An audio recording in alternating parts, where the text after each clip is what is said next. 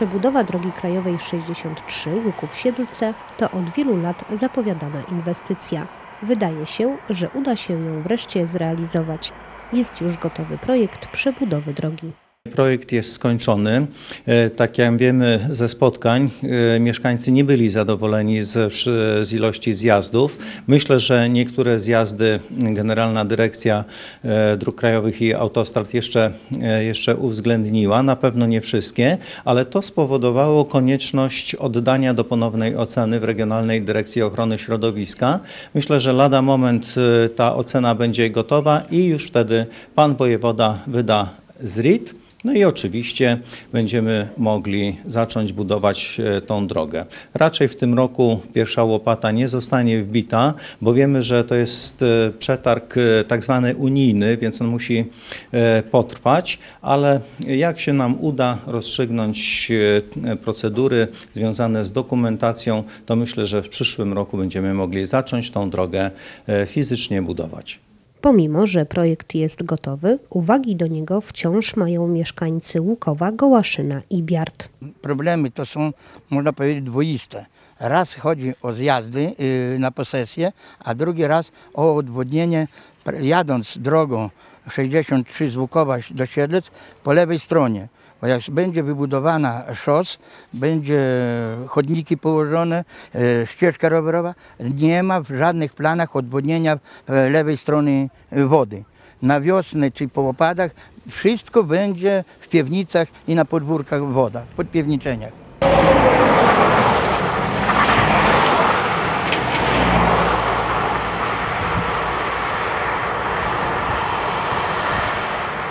Chcielibyśmy, żeby z nami konsultowano, bo to my będziemy tu żyli, my będziemy tu mieszkali, my będziemy znosili natężenie ruchu, które jest ogromne. E, Natężenie dźwięku, hałas jest, jest, jest ogromny. Bardzo ciężko się tu żyje. E, Odbierane są nam zjazdy. Jest to jakieś widzimisię Głównej Dyrekcji Dróg Krajowych i Autostrad. E, Nie jest dobrze, kiedy ten, który płaci podatki, nie jest wysłuchiwany przez tego, który jest utrzymywany z tych podatków. Y, Jest bardzo zasadne pytanie, czy główna dyrekcja jest dla głównej dyrekcji, czy główna dyrekcja dróg krajowych i autostrad jest dla nas, dla mieszkańców, która jest utrzymywana z naszych podatków. I chcielibyśmy, żeby ktoś z nami y, podjął rozmowę. Nie chcemy walczyć, bo proszę Państwa, jeszcze ani razu nie blokowaliśmy y, żadnej drogi, a moglibyśmy zablokować na minut 10 czy 15 i pewnie korek byłby z Biard do Łukowa. Nie? nie zrobiliśmy tego. Ciągle y, pokazujemy, że my, mieszkańcy tego miejsca, y, mamy ogromnie dużo dobrej woli. I chcemy przede wszystkim rozmawiać i żeby przyjechali ci, którzy decydują o kształcie przyszłej drogi i zobaczyli, jak to jest w rzeczywistości.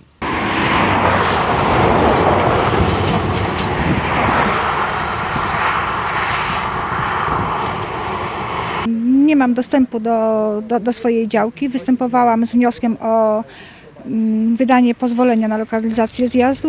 Dostałam odpowiedź negatywną, odwoływałam się, aczkolwiek jest to dalej e, utrzymywane. Poza tym następnym problem jest e, problemem, e, zale, m, że zrobią nam tereny po prostu zalewowe.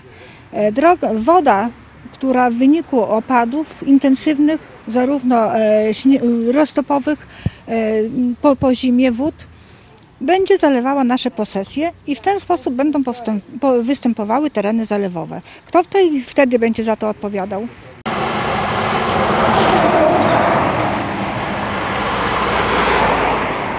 Dwa lata temu y, no, rozpoczęliśmy budowę domu. Jak najbardziej ten wjazd był udokumentowany. Teraz okazuje się jednak, że Generalna Dyrekcja nie wiedzieć czemu nie ma go w swoich dokumentach.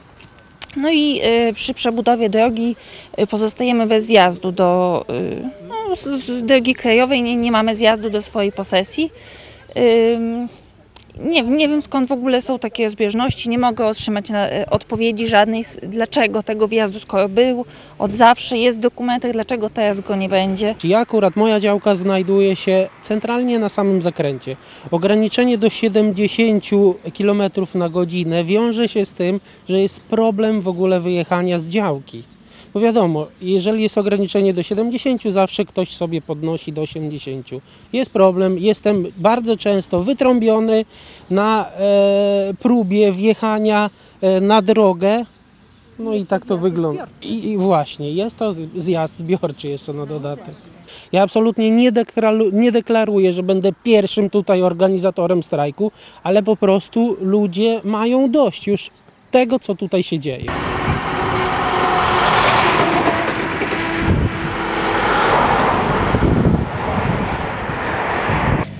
Jako pełnomocnik tej grupy mieszkańców muszę powiedzieć, że właśnie trzymam w ręku odpowiedź Generalnej Dyrekcji Dróg Krajowych i Autostrad oddziału w Lublinie, która jest niezadowalająca. Odpowiedź ta, którą otrzymaliśmy, nie jest satysfakcjonująca, bo nie uwzględnia interesów mieszkańców.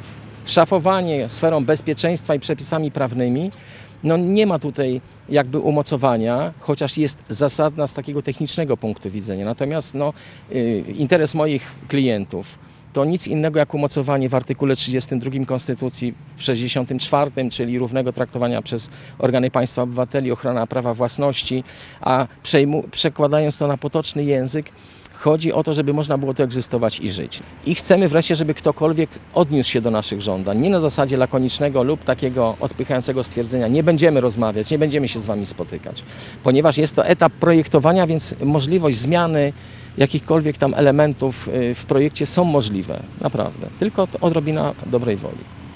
Czy będzie dobra wola ze strony Generalnej Dyrekcji Dróg Krajowych i Autostrad? Czy dojdzie do protestu mieszkańców Biart? Kiedy pojedziemy wyremontowaną drogą do Siedlec? To jak na razie pytania wciąż bez odpowiedzi.